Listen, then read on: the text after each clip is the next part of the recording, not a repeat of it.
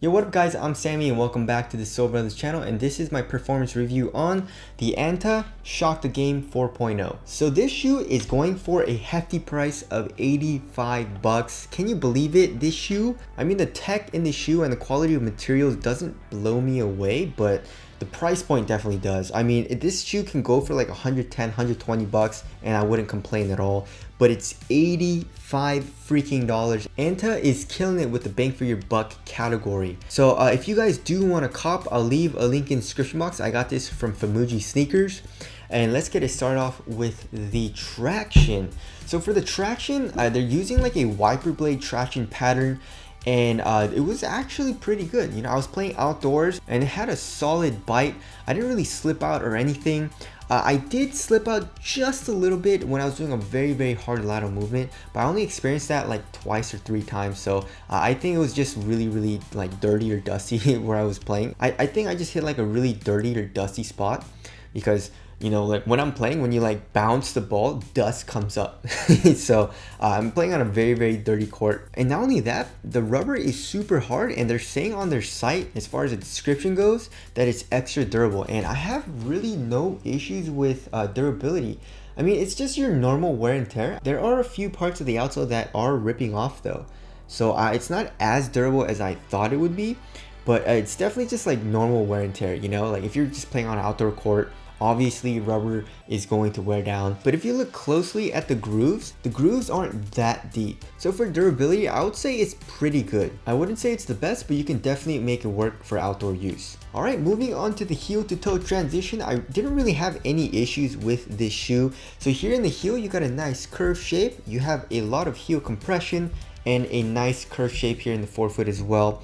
Uh, not only that, but the forefoot flexes a lot. So uh, overall heel to toe transition is very, very smooth, even though it doesn't look like it's going to be very smooth. You know, it kind of looks like a boot, you know what I'm saying? But I had no issues with clunkiness or anything. All right, as far as the cushioning goes, they're using A-Shock 3.0 and it's basically full length. And I was quite surprised at the cushioning setup.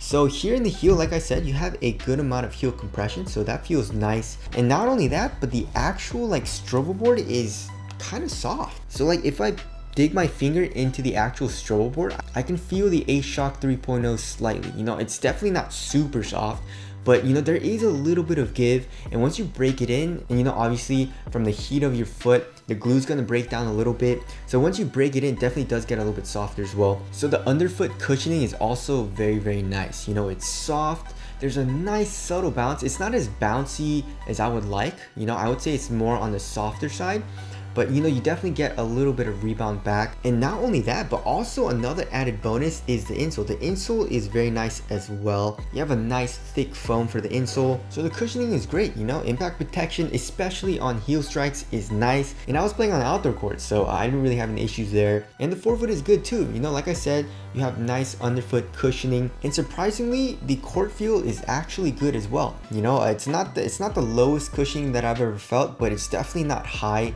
I guess like in the LeBrons or something. So the overall cushioning setup is, is awesome. All right, moving on to the materials. So they're using a lot of materials in this shoe. So uh, here in the toe box area, you have a blend of, I guess, like this mesh material.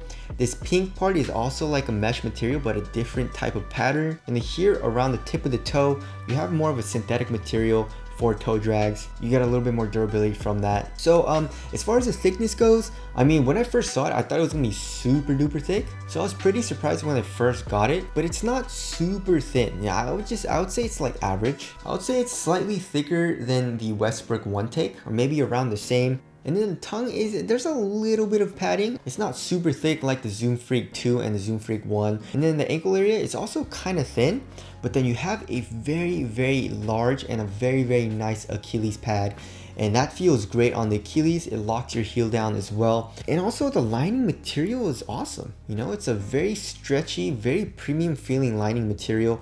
It feels great on foot. So the materials are okay. You know, as far as the quality goes, I feel like they did a great job for the price and it feels good on foot. You know, uh, per personally for me, I would have liked it to be a little bit thinner, but obviously this shoe is meant for bigger guys and who want a lot of support from their shoe. And you know, this upper is cozy and it's comfortable and it conforms to your foot very well. Alright, moving on to the fit, I went true to size and it fits me pretty damn well. So lengthwise, my toe is pretty damn close to the edge. I would say there's maybe like a centimeter or two of space.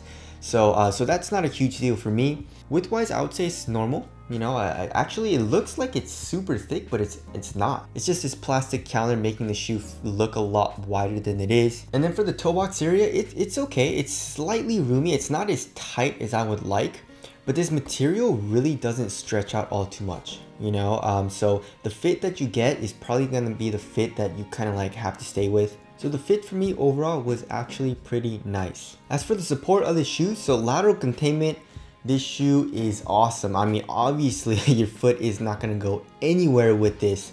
What do they call it? The a-shock stabilizer. So uh, like we all know Chinese companies have to name everything on their shoe. I'm surprised they didn't name this like the A pull tab or whatever, you know? So, um, but anyways, yeah, it definitely has a functional purpose. Aesthetically, I don't really know how I feel about it, but you know, it kind of looks like a hand a little bit, you know, a very weird hand that just kind of got like slapped on there, you know what I'm saying? Uh, but yeah, I mean, obviously lateral support, you're gonna be good.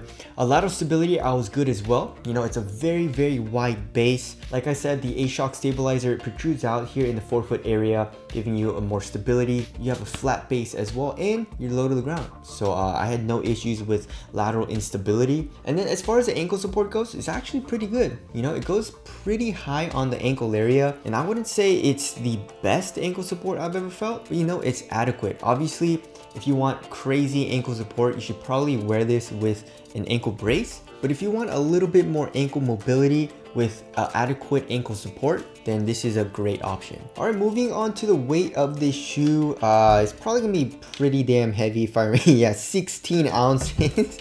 Crazy heavy, 15.7 ounces. Yeah, so uh, this shoe is super heavy.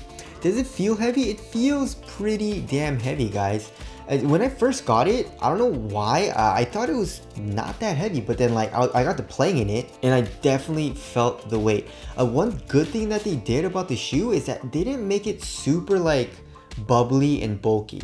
You know what I'm saying? Like for example, in the RS Dreamer, you guys see how much this cushion protrudes out? Like your heel is basically like right there right? So you see how much it protrudes out? The Shock the Games don't do that as much, you know? So it doesn't feel crazy bulky. It definitely feels um, bulkier than like, like maybe the Zoom Freak 2 or something, but it's not as bulky as, you know, it kind of looks. But it's definitely heavy and you feel the weight on your foot. 16 ounces is insane, guys. That's that's like LeBron level and maybe even a little bit heavier than LeBron's, you know? So obviously, if you don't like heavy shoes, stay away from the shoe. But you know, if you don't mind that, then obviously this is a great option. All right, moving on to the ventilation. Nope. That's that's what I'll say. Nope. This shoe is freaking hot. There's no ventilation at all. There's no airflow. And uh, like I said, the material, I mean, it's not super thick, but you know, just like all these overlays of materials, it's just, it's, it's a hot shoe. So definitely do watch out for that. Moving on to the aesthetics, I mean, I kind of like it. You know, it looks very, very different from a lot of the designs that we've been seeing for basketball shoes and I kind of like this colorway. I saw this other black colorway on Famuji and that colorway definitely looks really really cool. I don't really know how you guys feel about this A-Shock stabilizer but I don't think it looks that bad. So uh, tell us what you guys think of the aesthetics down in the comment section below. So wrapping things up, 85 bucks? Are you kidding me? This is a great option. This is a good performer. It just isn't my type of shoe. So for me personally, if you guys didn't know, I like to have a very, very minimal shoe and a very, very light shoe, which the shoe is not. So like I said, if you don't mind a heavier shoe, this is a great option. The traction is good, the cushioning is very, very soft and very comfortable. It's definitely better than, you know, Phylon or, you know, EVA or whatever. They're, they're doing a great job with this. The materials are soft and they get comfortable, they're cozy. You have a lot and a lot of support in this shoe. Like if you're a big man, and you need a lot of support in your shoe, this is probably one of the best shoes you can get. You know what I'm saying? So, I mean, I, I probably wouldn't recommend it as much for like faster, smaller guards. Uh, I, I guess if you want like a lot, a lot of support, then go ahead and cop it. You know, why not? But I would recommend it for, you know, bigger players. But that about concludes my review on the Anta Shock the Game 4.0. Again, if you guys want to cop, I'll leave a link in the description box. Thank you guys for watching, and I'll see you guys in the next one.